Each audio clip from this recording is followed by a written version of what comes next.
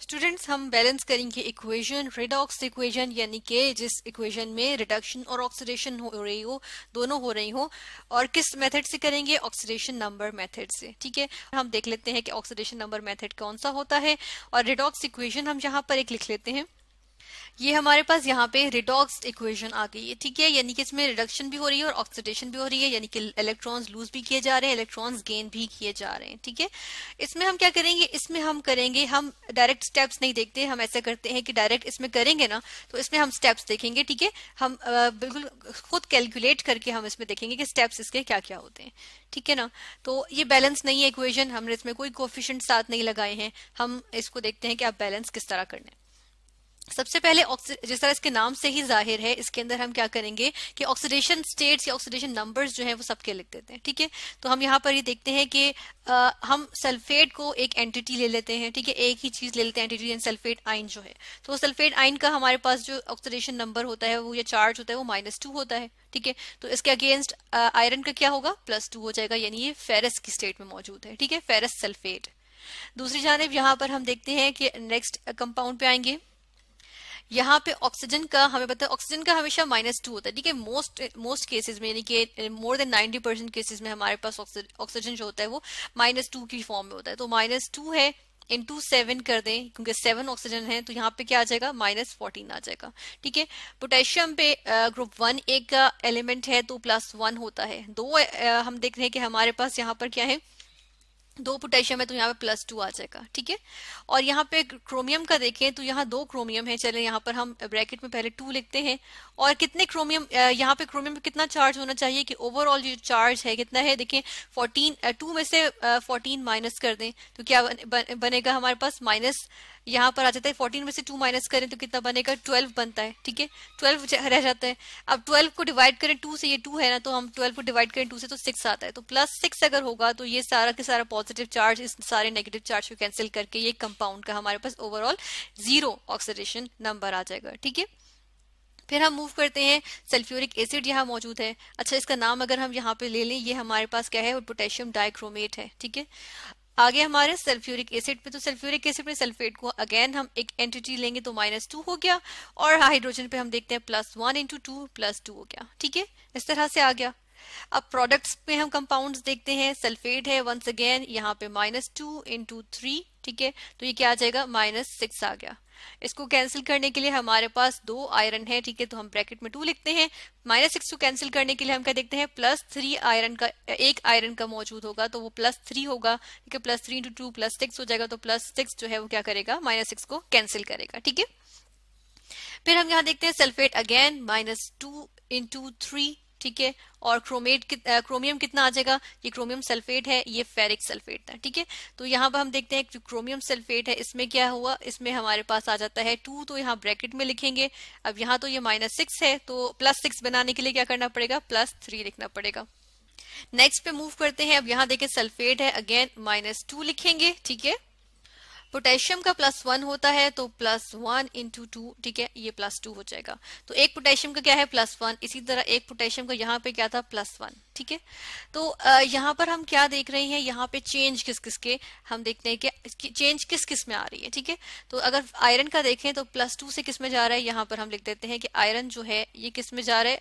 Plus two से ये जा रहा है प्लस थ्री में, ठीक है? प्लस थ्री में, ठीक है ना? और उसके बाद हम देखते हैं कि यहाँ पर सल्फेट देखें माइनस टू है सब में थ्रू आउट हमारे पास सल्फेट माइनस टू था। पोटेशियम देखें थ्रू आउट जो है क्या था? प्लस वन में था। यहाँ पर भी एक पोटेशियम प्लस वन में ही है ठीक है? ऑक्सीजन को देखें माइनस टू ही है ठीक है? यहाँ पर अगर आ, ये वाटर हमसे मिस हो गया है तो ऐसे करते हैं वाटर का भी देख लेते हैं। यहाँ माइनस टू ऑक्सीजन के लिए प्लस वन एक हाइड्रोजन के लिए इंटू टू आ जाएगा। तो plus two into plus two और माइनस टू ठीक है? तो देखिए, यहाँ पर ऑक्सीजन भी माइनस टू ही की फॉर्म में है। हाइड्रोजन भी हमारे पास प्लस वन की ही फॉर्म में है। यहाँ पर जो हमारे पास हाइड्रोजन मौजूद है प्लस वन इंटू टू है ये। ठीक है? तो यहाँ पे चेंज किसमें आया? क्रोमियम में आ रहा है। क्रोमियम में चेंज किस तरह से आ रहा है? एक क्रोमियम को अगर हम देखें तो वो क्या कर रहा है? प्लस सिक्स की स्टेट से किसमें जा रहा है? प्लस थ्री की स्टेट में। ठीक है? यहाँ पे हम इसको हाईलाइट भी कर देते हैं। ये प्लस सिक्स की स्टेट से किसमें जा रहा है? प्लस थ्री में। तो हम लिखेंगे प्लस सिक्स से किसमें जा रहा है? प्लस थ्री में ठीक है? और ये जो आयरन था इसको भी हम यहाँ पे हाईलाइट कर देते हैं कि ये भी हमारे पास चेंज इसमें भी हमारे पास चेंज आ रहा है ठीक है? इस तरह से ये हमने लिख दिया। अब ऐसा करते हैं कि इन दो चीज़ों में चेंज आ रहे हैं तो इन्हीं के कंपाउंड से हम डील करेंगे यहाँ पे इसको हम करेंगे साइड पे और यहाँ पर हम देखते हैं कि हम किस तरह से लिखेंगे। आ, हम यहाँ से हमने आ, क्या करते हैं कि आयरन से हम देख रहे हैं आयरन से सल्फ फेरस सल्फेट से फेरिक सल्फेट की तरफ़ हम एक एरो बनाएँगे ठीक है? और दूसरा एरो हम किस तरह से बनाएँगे? यहाँ पे जो दूसरा एरो होगा, वो हम बनाएँगे, हम थोड़ा सा इक्वेशन को नीचे कर दिया है और इसमें हम देखते हैं जो क्रोमियम का जो हमारे पास कंपाउंड है, क्योंकि क्रोमियम में चेंज आ रहा है। तो क्रोमियम के एरो से यहाँ पे क्रोमियम का जो प्रोडक्ट में जो कंपाउंड है, उस तक लेके जाएँगे, ठीक है? तो ये इस तरह से एरो आ गया। अब हो क्या रहा है? आयरन के कंपाउंड में देखें तो आयरन क्या कर रहा है? एक इलेक्ट्रॉन हम देख रहे हैं ऑक्सीडेशन नंबर इंक्रीज कर रहा है, ठीक है? यहाँ पर क्या हो रहा है? ऑक्सीडेशन नंबर इंक्रीज हो रहा है।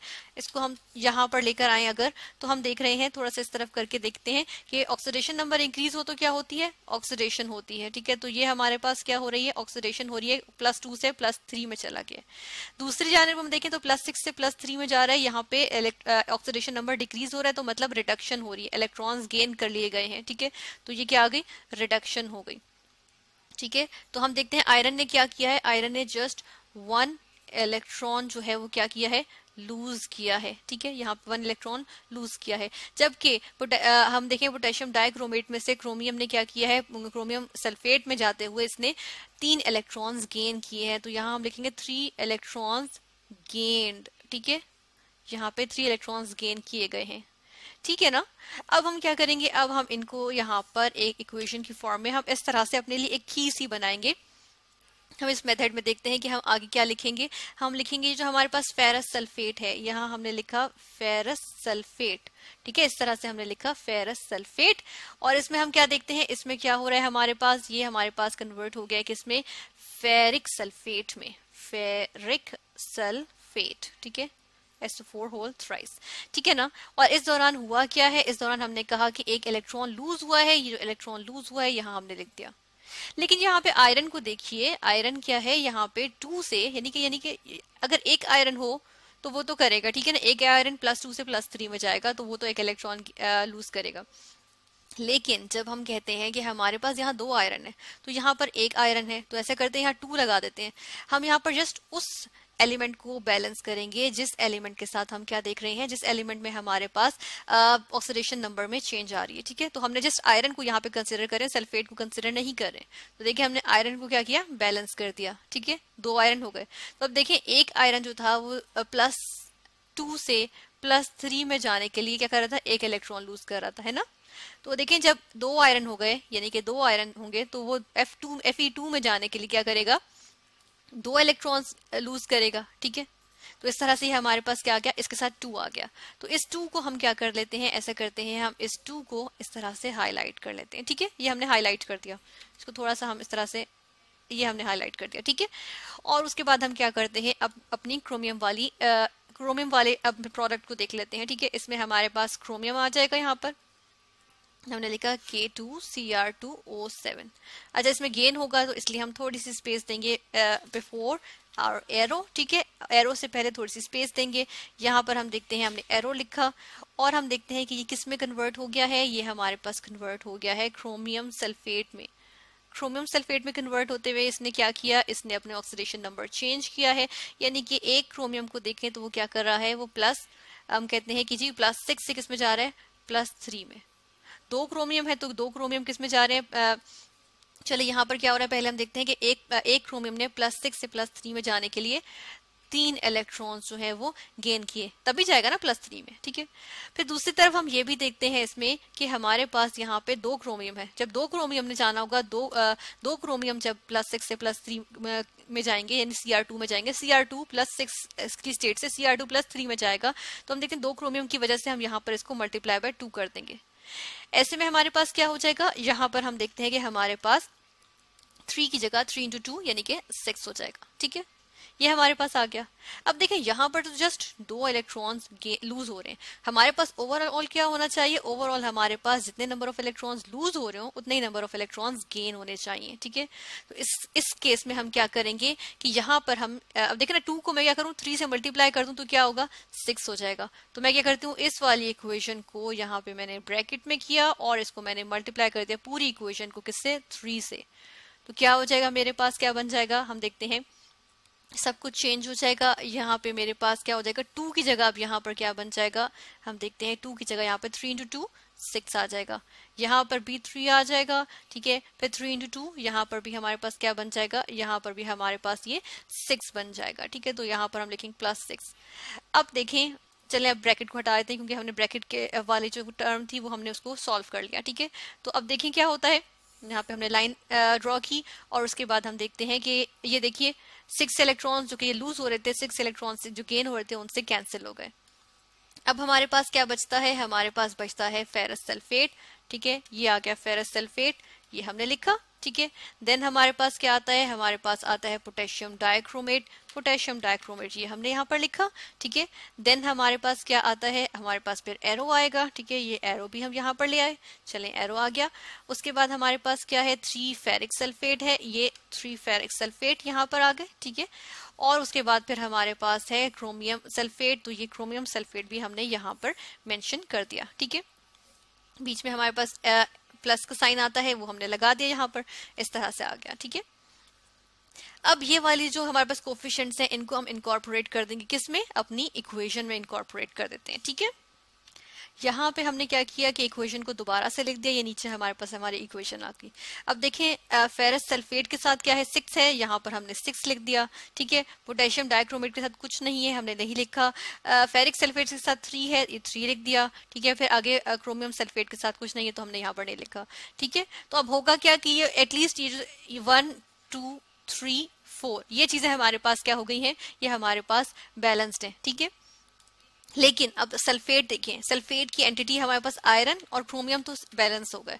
अब क्या है कि यहाँ पर हम देखते हैं कि बाकी सबको हम इंस्पेक्शन मेथड यानी कि हम ऑब्ज़र्व करके हम उनको बैलेंस कर लेंगे, ठीक है? उनको बैलेंस करना आसान होगा। लाइक सल्फेट देखें यहाँ पर कितने हैं? यहाँ पर सिक्स प्लस वन ठीक है? कितने हैं? सेवन सल्फेट्स हैं, ठीक है? हम सल्फेट्स की बात कर रहे हैं। तो और यहाँ पर देखें कितने हैं? थ्री इंटू थ्री, नाइन, ठीक है? और उसके बाद इन प्लस थ्री कितने हो गए? यहाँ पर हमारे पास हो जाएँगे ट्वेल्व हो जाते हैं और फिर थर्टीन ठीक है? तो यहाँ पर थर्टीन है। अब अगर ये ये तो सिक्स हैं, अगर यहाँ पे ये वाले जो सल्फेट हैं, इनको हम सेवन यानी कि यहाँ मैं सेवन लगा दूँ तो यहाँ पर भी हमारे पास सल्फेट थर्टीन हो जाएँगे, ठीक है? तो इस तरह ये भी थर्टीन हो गए। ठीक है?